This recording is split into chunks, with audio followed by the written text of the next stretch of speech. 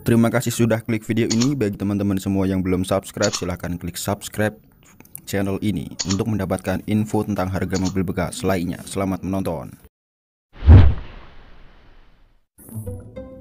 7 mobil SUV bekas yang murah dan berkualitas, gagah dan sporty.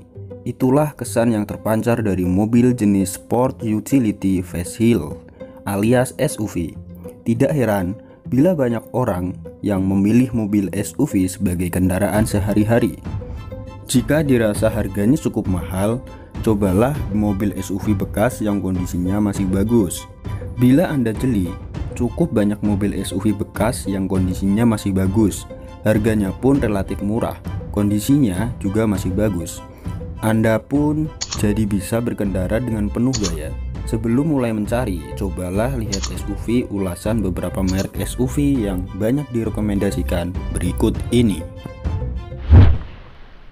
Daihatsu Terios Daihatsu Terios merupakan salah satu kendaraan SUV yang terkenal irit bahan bakar. Harganya pun relatif murah, menjadi alasan mengapa banyak masyarakat Indonesia menyukai Daihatsu Terios ini. Di tahun 2018 misalnya, Masyarakat pun disuguhi dengan Daihatsu Terios tahun 2018 dengan desain yang semakin menawan. Biarpun tidak memiliki desain yang stylish seperti tipe yang baru, Terios TS dan TX masih cukup banyak dicari. Harga bekasnya pun saat ini di tahun 2011 sampai 2014 berkisar antara 110 juta hingga 175 juta. Toyota Rush. Berbicara soal Terios, tak lengkap rasanya bila belum membahas sang saudara, yaitu Toyota Rush. Secara fisik, Rush memiliki banyak sekali kemiripan dengan Terios.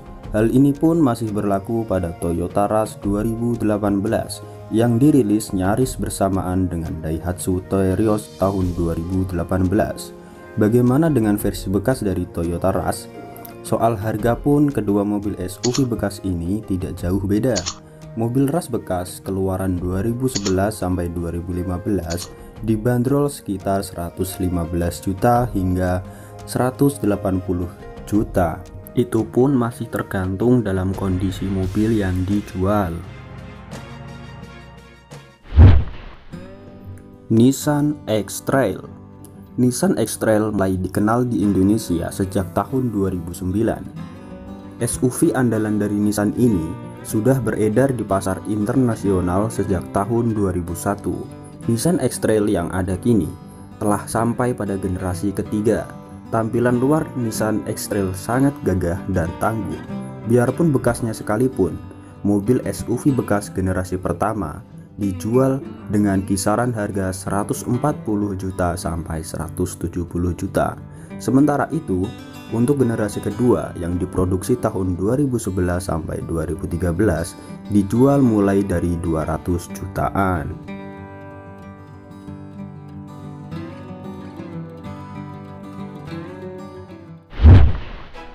Kia Sportage Mobil pabrikan Kia di Indonesia memang masih kalah tenar dengan produk Jepang seperti Daihatsu, Toyota, ataupun Honda.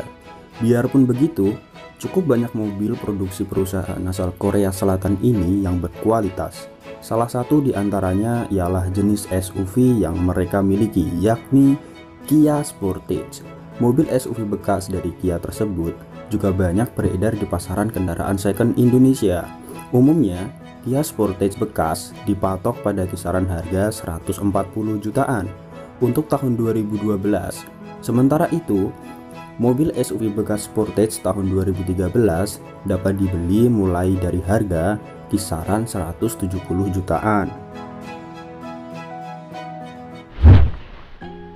Toyota Fortuner Toyota bukan hanya punya ras di dalam daftar mobil SUV miliknya, ada pula mobil Toyota Fortuner yang punya perawakan lebih besar dan gagah. Penampakannya sendiri kelihatan lebih gahar dibanding Toyota Rush.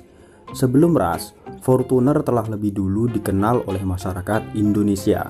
Pertama kali mobil SUV berbahan bakar bensin dan solar ini dikenalkan pada tahun 2005. Harga mobil SUV bekas Fortuner keluaran tahun 2005 hingga 2014 berkisar antara harga 140 jutaan hingga 300 jutaan.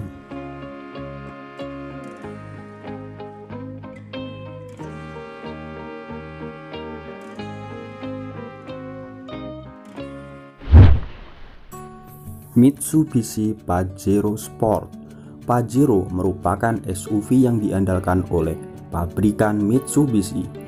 Harga Mitsubishi Pajero Sport baru untuk tipe Exit, Dakar, dan GLE memiliki harga jual mulai dari 474 juta hingga 516 juta. Lumayan mahal untuk harga mobil barunya. Tenang saja, untuk versi mobil SUV bekas, satu ini dapat Anda beli dengan kisaran harga 230 juta hingga 300-an juta rupiah.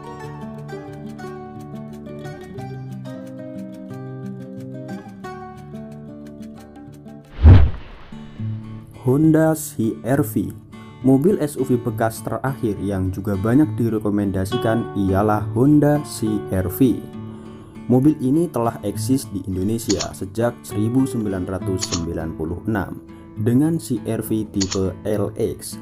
Seiring berkembangnya waktu, tipe Honda CR-V pun semakin bertambah. Versi baru dari mobil SUV ini ditaksir memiliki harga mencapai 500 jutaan.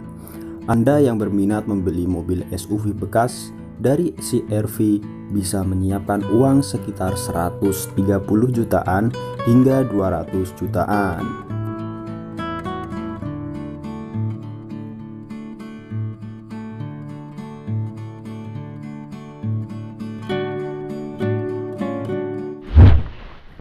Berikut tadi adalah 7 jenis SUV yang irit bahan bakar dan cukup tenar di negara kita, Indonesia mobil yang sangat direkomendasikan untuk dipakai dalam kebutuhan sehari-hari.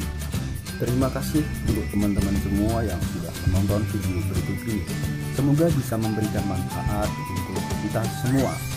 Jangan lupa bagi yang belum subscribe silahkan klik subscribe terlebih dahulu untuk mendapatkan informasi tentang harga mobil bekas atau mobil-mobil lainnya. Terima kasih, sampai berjumpa lagi di video berikutnya.